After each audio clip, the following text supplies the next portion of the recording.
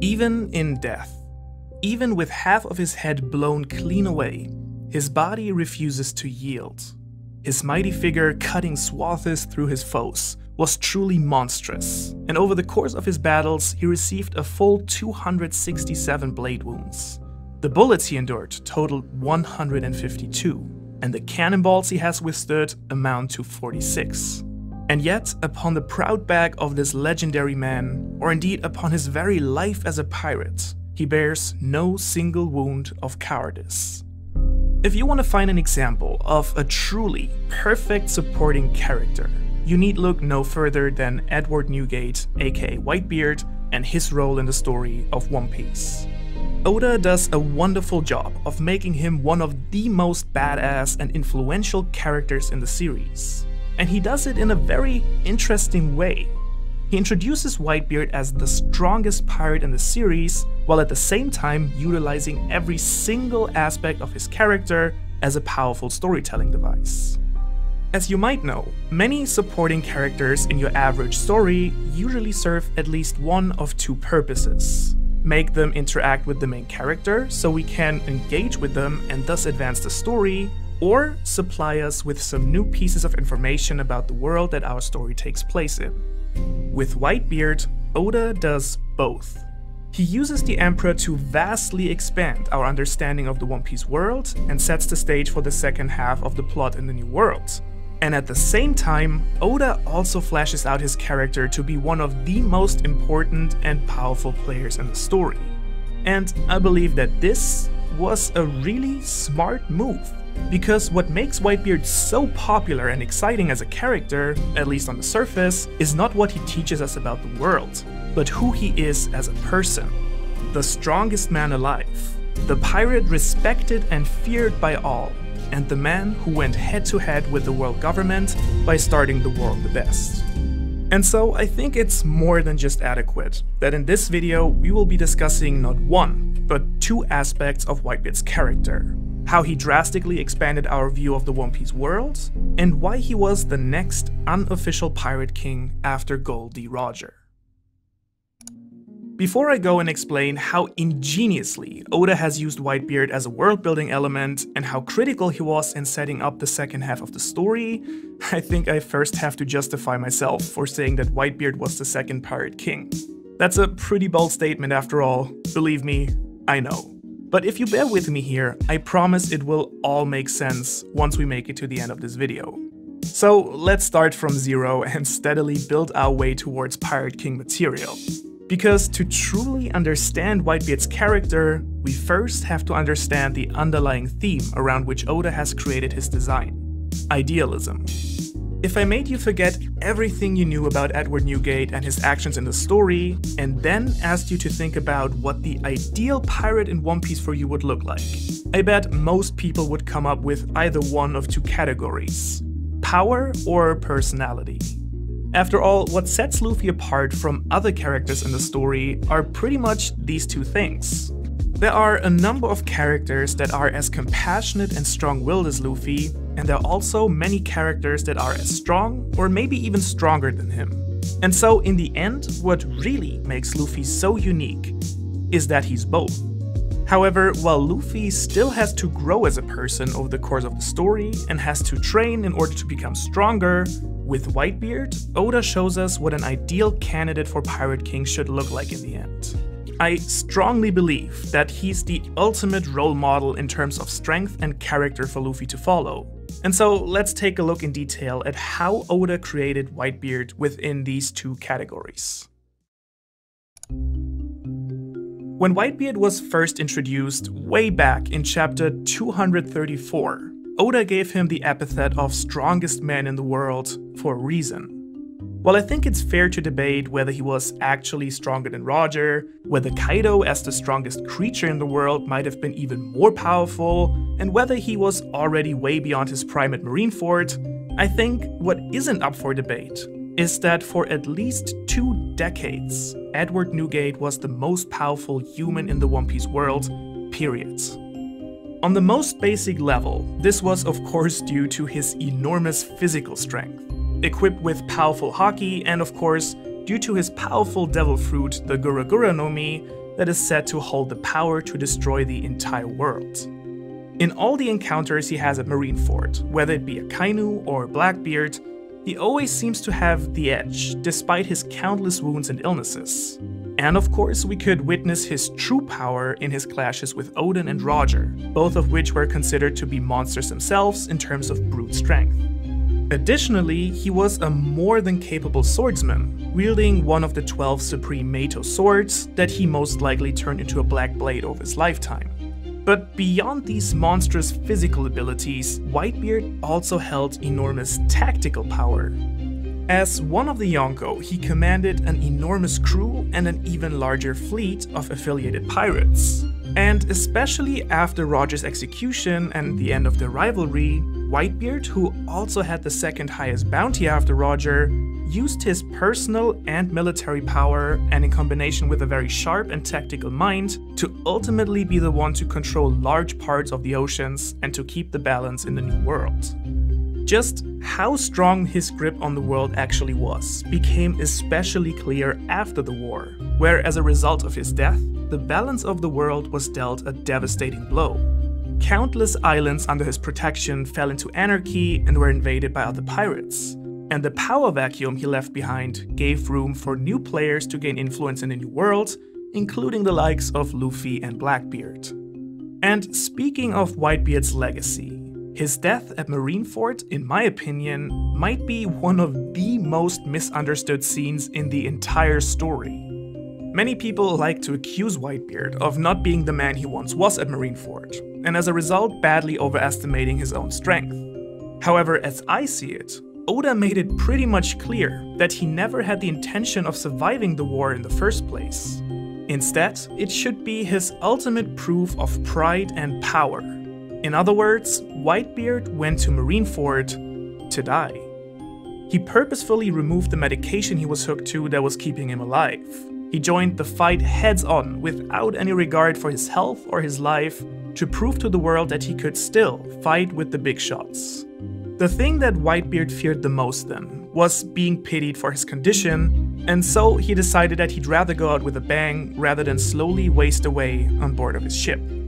His true intention for the war then was to free Ace and make him his successor and the top candidate for the next Pirate King. And so this, in my opinion, is one of the strongest displays of honor, strength, and will that we've seen in all of One Piece outside of the Straw Hats. Another point I think is important to make when considering Oda's portrayal of Whitebeard is his source of inspiration for the character in the first place. Primarily, there are two major characters whose attributes have been united in the Emperor. The first is the real-life Blackbeard.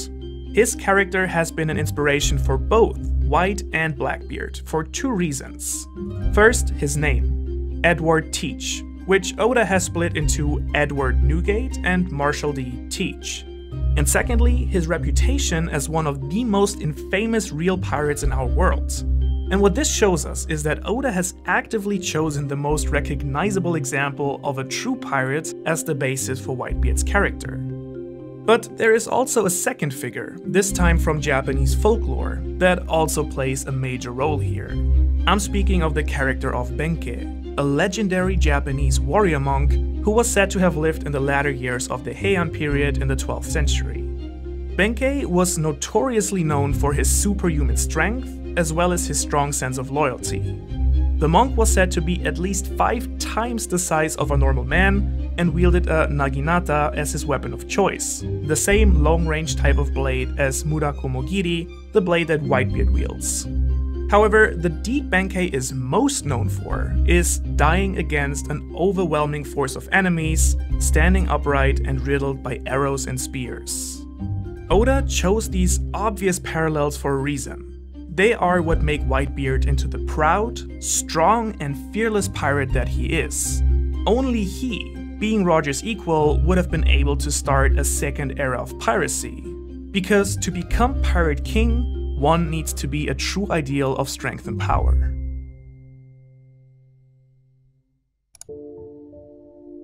Now, while willpower, strength, and influence are certainly basic requirements for becoming Pirate King, There are actually a number of candidates that would fall into this category that literally nobody would want to see on top of the food chain, except for Ryan. What the hell's wrong with you, Ryan? So, what makes Roger or Luffy different from, let's say, a Blackbeard or a Kaido? I would argue that it's compassion and kindness that makes for an ideal pirate king, at least in my and probably also Oda's eyes. Both Roger and Luffy represent the quote unquote good pirate that helps the weak and strives for justice, freedom, and happiness.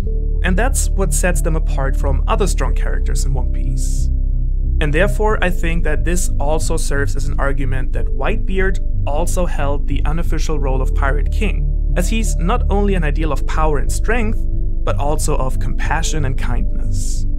While he easily could have reached Laugh Tale as well, he never cared to find the One Piece in the first place. What Newgate was actually looking for was to form strong relationships and to find the family that he was denied as a child growing up as an orphan. While we do not know yet what he was like during his time with the Rocks Pirates, at least by the time he started his own crew, he was a cheerful and carefree young pirate roaming the seas.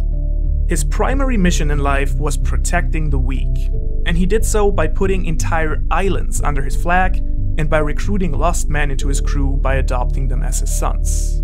He did so with Squard, who lost his entire crew to Roger, with Ace, with Blackbeard, and many others that didn't have any other place to go. He also did not care much for race or status, and was the only one willing to stand up for the fishmen and end their exploitation through the humans. And I think another trait that shows whether someone is a truly great leader is by looking at how they treat their people. Compared to many of the other Yonko, Whitebeard had a truly great crew. Kaido, for instance, seems to rule over his men through power and fear. Blackbeard has surrounded himself with people hungry for power and blood. And Big Mom actually has made her real family into her crew, but doesn't even get close to the level of warmth and joy that the Whitebeard pirates had. The secret behind this is that Whitebeard has built his crew predominantly on trust, love, and respect. Thus, similar to his inspiration Benkei, loyalty is the major theme of the Whitebeard Pirates, which is also what makes Blackbeard's betrayal of said loyalty the ultimate crime for the crew. And something I feel is directly connected to this idea is the strong moral code that Newgate has. Loyalty and respect are what the Emperor values most highly, what makes him different from, let's say, Akainu, however, who actually shares surprisingly similar ideals, is that Whitebeard has the ability to forgive. In that sense, the scene with Squard is actually way more important for Whitebeard's characterization than you might have realized.